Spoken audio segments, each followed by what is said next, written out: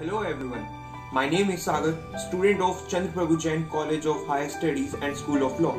Our college is organizing its fifth national conference on the theme Family Laws, Contemporary Challenges and Solutions on 30th January through Zoom meetings.